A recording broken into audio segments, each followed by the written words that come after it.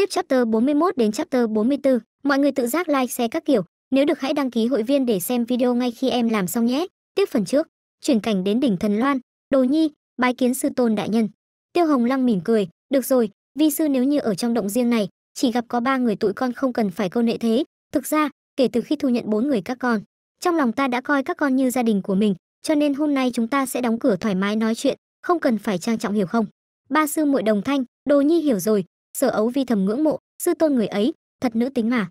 Lục Anh Anh mưu kế, ôi, thân hình của sư tôn phải tròn trịa, thon gọn như tinh hoa hoàn hảo những ưu điểm của sư tỷ Hữu Dung và Tô sư bá.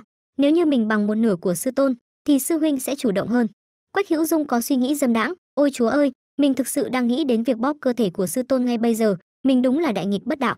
Sau khi uống rượu thỏa mãn, Tiêu Hồng Lăng lên tiếng, "Được rồi, quay lại chủ đề chính thôi, ba người các con thấy đại sư huynh của các con như thế nào, vì với tư cách là sư tôn, ta đã sớm phát hiện ba người các con đã có tình cảm đối với đại sư huynh của mình, ta đã quyết định làm một người sư tôn tốt, thì sẽ có nghĩa vụ chọn một người phù hợp với Tiêu Nhi."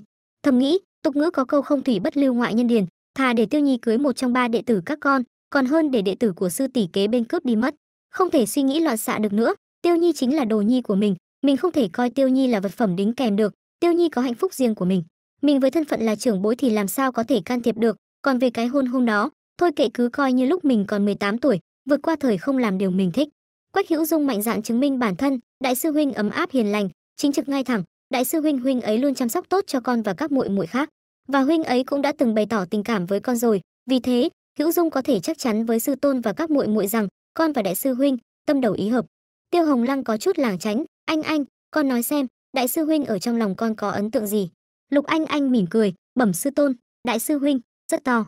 Thấy Tiêu Hồng Lăng khó hiểu, Lục Anh anh liền giả vờ ngây thơ, "Ồ, lúc nãy anh anh không nghe hiểu ý của sư tôn nói ạ. À? Nếu như nhắc đến đại sư huynh, anh anh cảm thấy đại sư huynh là một trưởng bối rất đáng tin cậy, trong lòng cô ta đắc ý, hai vị sư tỷ à? Kể cả sư tôn cũng vậy, mọi người chắc không biết đâu, chỉ có anh anh biết là được rồi, đại sư huynh huynh ấy rất là lợi hại." Hữu Dung nghe xong liền cảm thấy nhẹ nhõm, xem ra anh anh chỉ coi đại sư huynh như trưởng bối mà thôi, trưởng tỷ như mẹ, sau này nếu như mình và đại sư huynh thành hôn, có thể quan tâm muội ấy hơn một chút. Tiêu Hồng Lăng quay sang Sở Ấu Vi, "Được rồi, Ấu Vi con cũng nói thử xem, đại sư huynh trong mắt con là người như thế nào?" Thầm nghĩ, Ấu Vi đứa trẻ này từ nhỏ đến lớn đã luôn nghĩ đến người khác, có những tuổi thân gì đều giấu kín trong lòng, chưa kể ngay cả vị đam đài thanh âm thân thiết nhất của Ấu Vi cũng đều không biết tận sâu trong đáy lòng của Ấu Vi đang nghĩ gì. Dù sao chỉ vì Ấu Vi là người hiểu biết, hiền lành và ân cần, nói không chừng Ấu Vi mới là người thích hợp nhất đồng hành bên Tiêu Nhi. Sở Ấu Vi nói, hồi bẩm sư tôn, dáng vẻ của đại sư huynh ở trong mắt của Vi Vi, có thể với người khác sẽ không giống nhau. Tiêu Hồng Lăng tò mò, vậy con nói thử xem, đại sư huynh trong lòng con là người như thế nào? Sở Ấu Vi nở nụ cười ngại ngùng, lúc nãy như tỷ và sư muội đều nói đại sư huynh tốt bụng ấm áp, vậy Ấu Vi sẽ không nhắc lại nữa, theo cảm nhận của Ấu Vi. Đại sư huynh về bản chất là một người cực kỳ đáng yêu, thông thạo nhưng không phàm tục, thú vị nhưng không thô tục, tuy thỉnh thoảng cư xử kỳ lạ nhưng huynh ấy không bao giờ vượt quá quy tắc, không đánh mất phong độ, điều quan trọng nhất là huynh ấy miệng cứng nhưng trái tim lại mềm yếu, luôn nói những điều vô nghĩa và dùng một số ngôn ngữ kỳ lạ để phàn nàn và chế giễu người khác. Nhưng thực tế, mỗi lần tới lúc then chốt, huynh ấy luôn tiến lên trước và chăm sóc các sư muội, đứng trên phương diện ấy mà nói, chẳng phải đó là một con người với hai mặt đối lập, bên ngoài cường điệu phù phiếm, nhưng bên trong lại hiền lành tốt bụng, điều này thật đáng yêu, đúng không? Tiêu Hồng Lăng đồng tình, à đúng, nói đúng lắm, vi sư cũng cảm thấy như mấy con vậy đều cảm thấy đại sư huynh rất dễ thương. Chẳng qua là, vi sư thấy ấu vi không có đọc sách nhiều, nên không biết biểu đạt, chắc là như ý nghĩa mà con nói đó. Lục Anh Anh nói, đúng vậy, người dễ thương như đại sư huynh, e rằng không có người con gái nào không thích. Tiêu Hồng Lăng đồng tình, tứ nha đầu nói đúng, tiểu tử này quả thật được nhiều người thích. Suy cho cùng thì mình cũng, suy cho cùng thì cái vị trúc sư tỷ ở bên cạnh, đối với đại sư huynh chắc cũng có ý gì đó. Nghe đến đây các sư muội đều thay đổi thái độ. Tiêu Hồng Lăng cũng nghiêm túc hơn, được rồi, vi sư nói thẳng luôn cho các con biết, hôm nay vi sư gọi các con tới đây là có dụng ý. Vi sư muốn tìm một người đồng hành cho đại sư huynh của các con, sớm ngày thành hôn. Lúc này có người đến báo tin, không ổn rồi thủ tọa, vừa nãy thuộc hạ đã làm theo những gì thủ tọa nói, đi mời Lâm thủ trưởng. Liền phát hiện Lâm thủ trưởng không còn nữa, không những vậy, Lâm thủ trưởng còn để lại một lá thư nói rằng vì tình hình chung, cậu ta một mình đến Phong Yên thành để gặp nữ vương Bắc Cảnh, cậu ta còn nói, xin thủ tọa hãy yên tâm, cậu ấy nhất định sẽ bình an vô sự mà quay về. Tiêu Hồng Lăng vừa tức giận vừa lo lắng, thật đúng là làm càn, ta phải bắt tên nhóc thối tha này về dạy dỗ một bài học mới được. Hữu Dung đề nghị, sư tôn, xin hãy cho phép Đồ Nhi đi cùng, ứng cứu đại sư huynh. Tiêu Hồng Lăng không đồng ý, ta sẽ tự mình đi đến Phong Yên thành bằng phi kiếm, chỉ mất 3 giờ.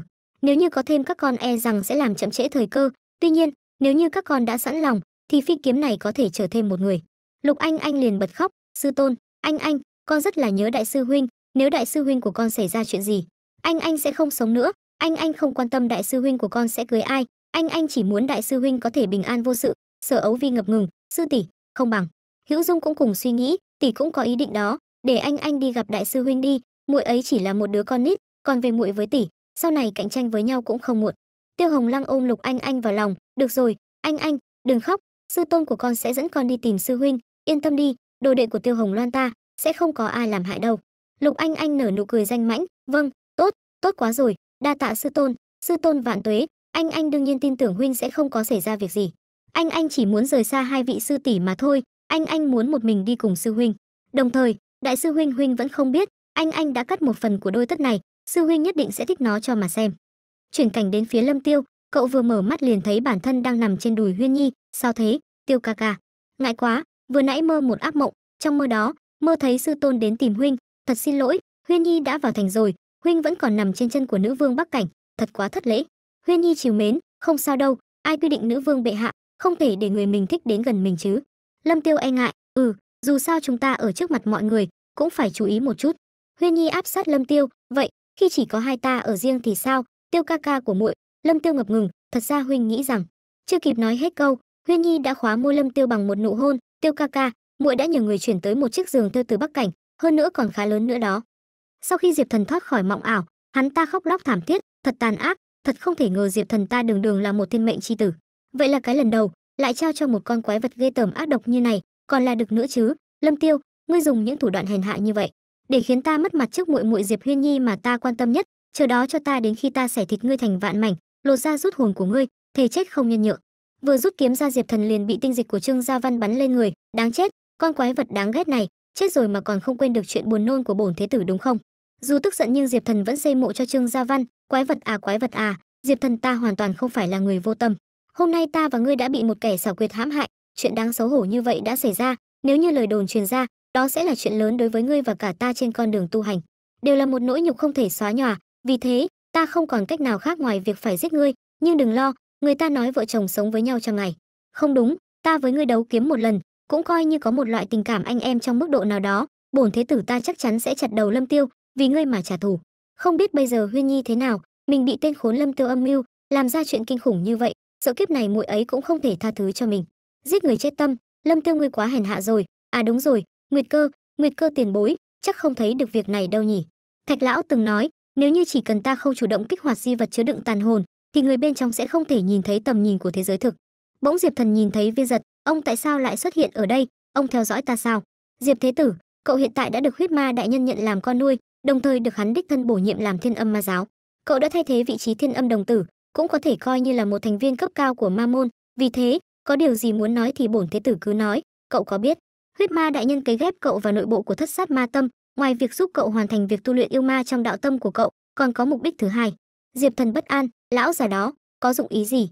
Ta đoán cậu đã đoán được rằng trước khi thất sát ma tâm được trao cho cậu, huyết ma đại nhân đã cấy một tia ý thức ma quỷ của chính mình vào đó. Vì vậy, chỉ cần lão ta có dụng ý, có thể khống chế cậu ở bên này, tất cả mọi thứ. Diệp thần nhớ lại lời thiên âm huyết ma nói, có đứa con nuôi khí vận chi tử, là cánh tay phải đắc lực. Ta, thiên âm huyết ma, nhất định sẽ trở lại lần nữa biến thế giới này máu chảy thành sông. Ôi trời ơi, thì ra đây là ý của con quỷ này. Hắn coi bổn thế tử này như con mắt di động của mình và quan sát mọi thứ bất cứ lúc nào sao. Hắn không sợ bị kim chọc mắt sao. Chuyện mình mà con quái vật đó cũng bị nhìn thấu rồi. Chuyện này thật kinh tởm. Mình đã bị tên đó nắm thóp rồi. Hắn sẽ uy hiếp mình cả đời này. Khi cuộc chiến giữa thiện và ác lên đến đỉnh điểm, cả hai bên đều tổn thất. Diệp vô địch ta sẽ tự tay giết chết thủ lĩnh tà ác này và trở nên nổi tiếng ở trung địa. Diệp thần nói với viên giật, bổn thế tử biết rồi. Vậy, huyết ma đại nhân có lời nào muốn nhờ ông nói với ta không? Viên giật mỉm cười, đương nhiên có rồi, huyết ma đại nhân đã biết được, cậu cùng diệp huyên nhi giao lưu không thông, lão ta hiện tại có chút bất mãn. Cho cậu hai con đường, cậu nhất định phải chọn một trong số đó, nếu không, cậu sẽ gánh chịu hậu quả, hoặc là cậu càng sớm càng tốt thuyết phục diệp huyên nhi. Hợp tác với ma giáo mở ra phong yên thành, thả tặc cơ giáo cùng bảy đại ma giáo khác tiến vào trung địa, giết kẻ ba lần bảy lượt đánh bại ngươi, lâm tiêu, nói thật với cậu, hiện tại kiếm thánh thái vũ chân quân đã qua đời, trong toàn bộ thanh lan tông chỉ có hai người mà huyết ma quân thực sự quan tâm chính là tiêu hồng lăng và lâm tiêu. Được rồi, cho dù huyết ma đại nhân không nói gì về chuyện này, ta nhất định sẽ lấy đầu lâm tiêu. Xin lỗi sư tôn. Ồ, không đúng. Viên giật huynh gửi lời tới huyết ma đại nhân. Xin hãy đợi tin tốt của bổn thế tử ta. Viên giật tiến đến vỗ vai diệp thần. Tốt, cậu quả nhiên là người được chọn. Huyết ma vương và ta không có nhìn nhầm cậu, nhưng mà cũng đừng lo lắng. Huyết ma đại nhân, gần đây lão ta đang bận phá vỡ tầng phong ấn cuối cùng trong chấn ma tháp. Có lẽ hắn không còn sức lực để ý tới hoạt động của cậu làm thì cứ làm không sợ bị đánh lén, nên nhớ, những người trong ma giáo của chúng ta muốn làm gì thì miễn là đạt được mục tiêu của mình. Với kỹ năng ma thuật hiện tại của cậu, việc giết lâm tiêu người đang ở đỉnh cao pháp tướng cảnh cũng không có vấn đề gì phải không? Viên giật nói xong liền rời đi, bảo trọng, diệp thế tử, hẹn gặp ở thanh lam tông. Lúc này diệp thần mới thở phào nhẹ nhõm, đùa với lửa tự thiêu, đáng lẽ ngay từ đầu mình nên nghe theo lời khuyên của thạch lão. Tránh xa những kẻ mưu mô trong ma giáo, với chút tâm tư và kinh nghiệm của mình, căn bản không chơi lại họ.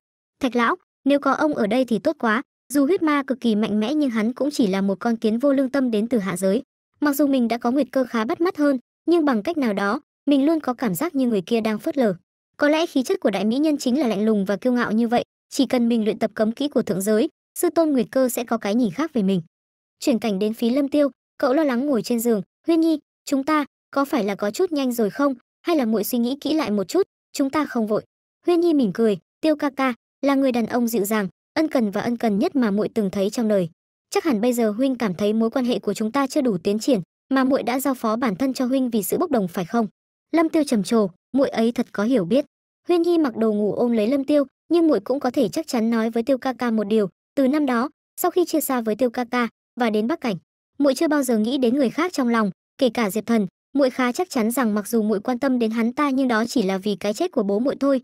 Hơn nữa, khi nói đến các mối quan hệ có lẽ vì từ nhỏ muội đã ra chiến trường và chiến đấu với đàn ông gu cũng khác với những nữ nhi khác, một khi đã đồng cảm với ai đó, muội sẽ không bao giờ ngại ngùng hay vướng mắt nữa. Trong cuộc đời này càng không, vì thế, tiêu ca ca, chuyện này đã được sắp xếp từ lâu. Không phải bốc đồng như tiêu ca ca nghĩ. Tiêu ca ca, hãy nhìn vào muội. Muội nếu lừa huynh, hai mắt trống rỗng, trong lòng vô ngã. Đúng lúc này có tin báo khẩn cấp, không ổn rồi, bệ hạ, một nữ kiếm tiên đem theo một tiểu cô nương công vào thành. Huyên nhi với lâm tiêu hoảng hốt, cái gì? Khi nghe được tin báo huyên nhi liền bảo vệ lâm tiêu tiêu ca ca, đừng cử động huynh cứ ở đây, chỉ là đám kiếm sĩ còn con 80 vạn tinh anh bắc xuyên trong thành của muội.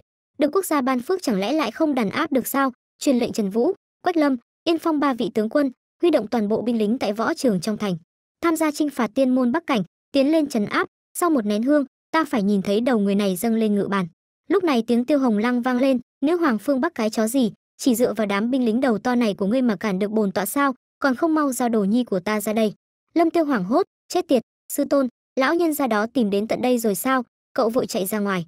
Vừa thấy lâm tiêu lục anh anh với tiêu hồng lăng cất tiếng, đại sư huynh, tiêu nhi, ngươi không sao là tốt rồi. Ấy, xúc sinh, ngươi làm vậy mà xứng đáng với sư tôn của ngươi xứ với đệ tử thứ hai của sư tôn, nhị muội hữu dung của ngươi sao?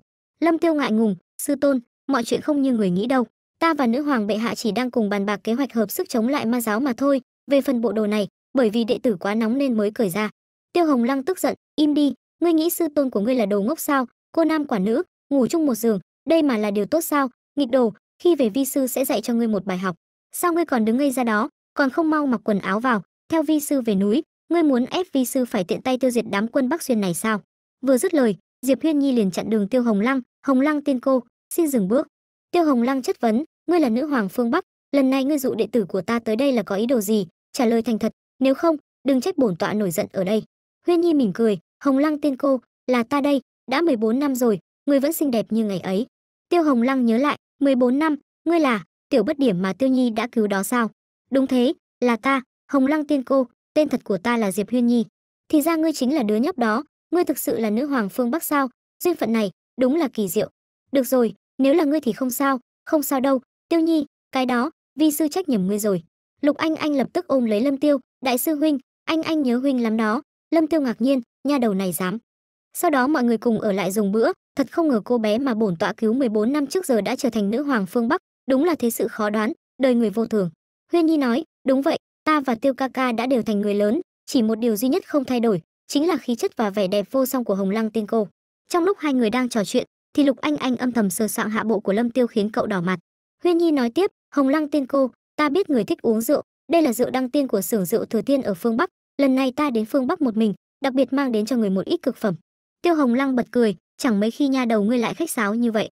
Huyên nhi mưu kế, nếu sau này kết hôn với tiêu ca ca, hồng lăng tiên cô cũng xem như là nhạc mẫu, nhất định phải lấy lòng mới được. Huyên nhi để ý đến sắc mặt của lâm tiêu tiêu ca ca, huynh sao vậy? Thấy không khỏe sao? Tiêu hồng lăng nhắc nhở, tiêu nhi, huyên nhi giờ đã là chủ một vùng, ngươi chú ý hành xử chút đi. Lâm tiêu tót mồ hôi vâng thưa sư tôn sư tôn, đồ nhi thấy khó chịu, muốn đi vệ sinh. Tiêu hồng lăng trách móc ăn một bữa cơm thôi sao mà lắm chuyện quá vậy? Đi lẹ rồi về. Lục anh anh mỉm cười, ta cũng muốn đi. Sau khi hai người lâm tiêu và lục anh anh đi vệ sinh quay về thì thấy có lính canh trong phòng. Lâm tiêu hỏi, có chuyện gì vậy? Xảy ra chuyện gì rồi? Huyên nhi ngập ngừng, tiêu ca ca, thực ra, rất lâu trước khi chiếm được phong yên thành, ta đã biết tà giáo của ma giáo có ý định xâm lược trung thổ. Vì vậy ta đã cử một nhóm điệp viên tinh nhuệ nhất đi thám thính động thái của những kẻ tu ma này. Vừa rồi, tông chủ tà cực tông, chính là ngưu bá thiên, đã tổ chức đại hội vạn yêu ở núi tà phong cách thành phong yên 250 dặm. Hắn tự xưng là vua của bán yêu, triệu tập tất cả ma quái nửa người trong thập vạn đại sơn phương bắc phía đông lại. Thập vạn đại sơn này là nơi tụ tập đáng sợ nhất của quái vật. Lâm tiêu cầm thư lên xem, trong nguyên tắc ngưu bá thiên là một kẻ liều lĩnh, trung thành và không sợ chết, sau khi chiếm được thành phong yên. Hắn trực tiếp dẫn quân đánh lén vào ngọn núi phía sau của thanh lam tông, thậm chí còn không thèm họp bàn với liên minh vạn yêu để triệu tập quân chi viện. Vì vậy, lần này hắn huy động nhiều quân như vậy, chắc hẳn là vì thấy bối rối khi phải đối mặt với một kẻ thù đáng sợ và hùng mạnh như nữ hoàng bắc cảnh cũng đành vậy, dù sao cốt truyện cũng bị ta thay đổi thành thế này, vậy thì để lâm mỗ ta nghịch thiên thể hiện lại một lần nữa. Cậu truyền âm cho tiêu hồng lăng, sư phụ người nói gì thế? Đúng vậy, liên quan đến đông vực, giới thế tục và giới tu chân, cùng sự sống chết của hàng triệu sinh vật, rất cần vị cao thủ hàng đầu được giới tu chân đông vực công nhận cho ý kiến. Tiêu hồng lăng vừa vuốt tóc vừa nói à các ngươi nói, ngưu bá thiên này, bổn tọa có thể giết hắn bằng một chiêu không? Lâm tiêu hoàn toàn lờ đi, nghe kế hoạch của ta thì hơn, ba thầy trò của thanh lan tông chúng ta sẽ đến thấp vạn đại sơn trong đêm cải trang thành những người tu luyện bán yêu và tham gia vào cuộc họp liên minh vạn quỷ, thăm dò thực hư, dùng chiến lược để chia rẽ nội bộ tà cực tông. Về phần huyên nhi, nàng ở lại chỉ huy 80 vạn bắc xuyên kỵ binh chấn giữ phong yên thành, tuyệt đối không để tà môn bên ngoài vào thành. Như vậy, nếu tám đại ma giáo muốn xâm chiếm trung thổ, bọn chúng chỉ có thể hành quân qua nước nam chiếu, mà lộ tuyến này chúng ta sớm đã có chuẩn bị. Mọi người đều không phản đối, tạm thời không có cách nào tốt hơn, nghe tiêu ca ca vậy.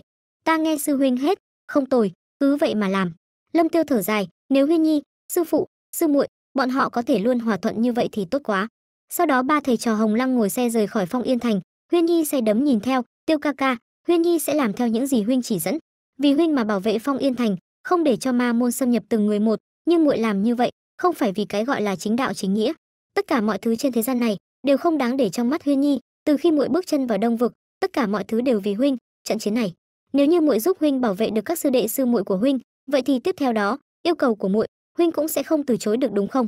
Lúc này diệp thần xuất hiện huyên nhi, ca ca có lời muốn nói với muội. Lính canh lập tức chặn lại, xin lỗi, nữ vương bệ hạ, thế tử ngài ấy. Huyên nhi lạnh lùng, không cần nhiều lời, lui ra đi, có lời gì, ta sẽ cùng thế tử diệp đàm phán. Diệp thần liền bật khóc huyên nhi, muội có biết không, ca ca vốn dĩ muốn lặng lẽ rời đi, nhưng ta thực sự không thể buông bỏ mối quan hệ giữa huynh muội chúng ta. Bây giờ huynh nhắm mắt lại, tất cả những gì huynh có thể nghĩ đến là khi chúng ta còn nhỏ, vườn sau hoàng cung, vô tư, cảnh vui đùa cùng nhau chạy nhảy dưới ánh hoàng hôn. Đó là thanh xuân mà chúng ta đi qua. Làm sao có thể quên hết được? Ta là ca ca, là ca ca của muội. Không ai có thể thay đổi được sự thật này. Không phải sao? Ánh mắt huyên nhi vẫn giữ sự lạnh lẽo. Được rồi, diệp thần, nếu như ngày này của trước kia, ngươi cũng nói những lời này, ta có lẽ sẽ động lòng. Nhưng mà bây giờ thì không thể. Bộ mặt của ngươi ở trong ngôi miếu đó, thật sự rất khiến người ta buồn nôn. Cả đời này ta sẽ không bao giờ tha thứ cho ngươi. Diệp thần nghe những lời này liền hoảng loạn. Đúng vậy, muội đã nhìn thấy huynh làm làm những chuyện kỳ quái đó nhưng muội biết không, huynh đối với tên rác rưởi lâm tiêu, không biết hắn dùng thủ đoạn gì để xâm nhập vào ý thức, vì vậy huynh đem cái đầu của con kỳ đà đó. Huyên nhi chất vấn, ngươi nhận nhầm ta thành con kỳ đà đó đúng không? Diệp thần ơi là diệp thần. Thì ra muội muội ở trong lòng của ngươi là nữ nhân có thể tùy ý chơi đùa, ngươi quả thật là không bằng xúc sinh. Diệp thần liền quỳ xuống, việc này là huynh sai, nhưng mà huyên nhi, muội đứng ở góc độ của huynh mà nghĩ huynh là huynh trưởng của muội. Xem muội trưởng thành, dựa vào đâu huynh không được chạm vào muội, phải đem một người hoàn mỹ như muội đưa cho người khác đưa cho lâm tiêu chơi đùa. Diệp thần lập tức ăn một đòn của huyên nhi. Huyên nhi muội muội lại đánh huynh sao? Đây là cái thứ hai rồi. Muội có biết rằng cái tát của muội khiến huynh đau lòng đến nhiều nào không?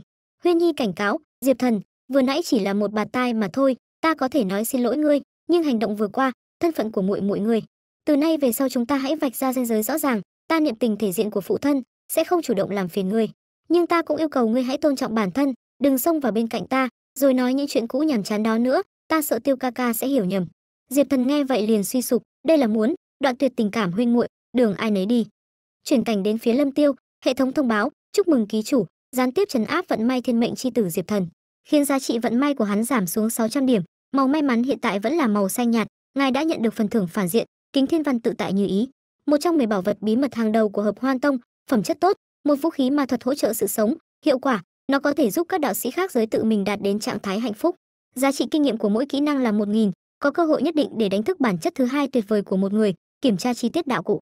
Lâm tiêu suy ngẫm, những khắc văn này, mình đã nhìn thấy khi mình đang nghiên cứu kinh điển của hợp hoan tông trong thư viện. Hình như nó là một loại chữ, có thể khiến các cô gái trở nên kỳ lạ. Mượn nó thứ bẩn thỉu này, không cần cũng được. Bỗng lục anh anh ôm lấy lâm tiêu, anh anh không phải muội ngủ rồi sao? Lục anh anh mò mẫm cơ thể, anh anh lừa sư tôn đó, đại sư huynh, anh anh lại nhớ nó rồi. Lâm tiêu hoảng loạn, dưỡng cái gì vậy?